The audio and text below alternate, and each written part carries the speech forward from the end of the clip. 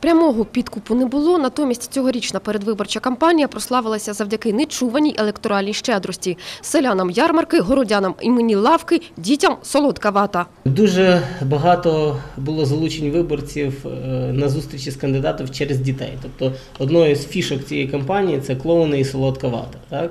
Тобто, як казали наші навіть колеги з інших областей, що ці вибори зроблять там не гречка, а солодка вата. Так?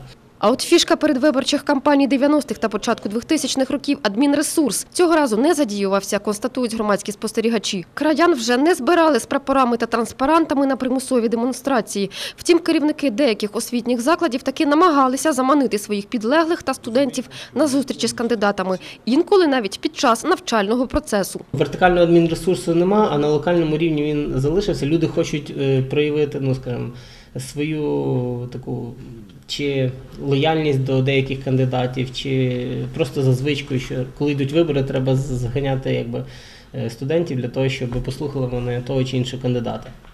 Під час виборів на Хмельниччині за порядком і безпекою наглядатимуть більше як півтори тисячі правоохоронців та 600 надзвичайників. На етапі ж агітаційної кампанії працівники МВС зафіксували більше 50 фактів кримінального порушення передвиборчого законодавства.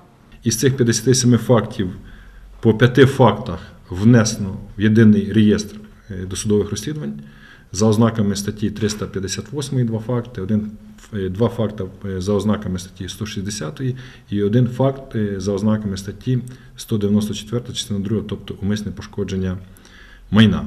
Серед можливих методів фальсифікації громадські діячі називають правопорушення під час підрахунку голосів на рівні окружних виборчих комісій, зокрема псування бюлетенів.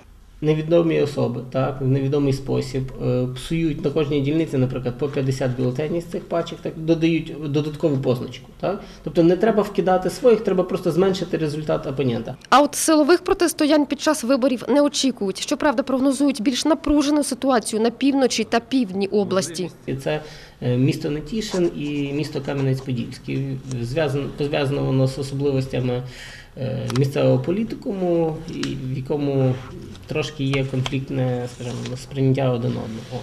Але сподіваємося, що все обійдеться без ексцесів. А от після 25 жовтня, за прогнозами спостерігачів, все може бути непросто, оскільки у виборах задіяна величезна кількість кандидатів. Світлана Русіна, Максим Захарченко для інформаційного випуску.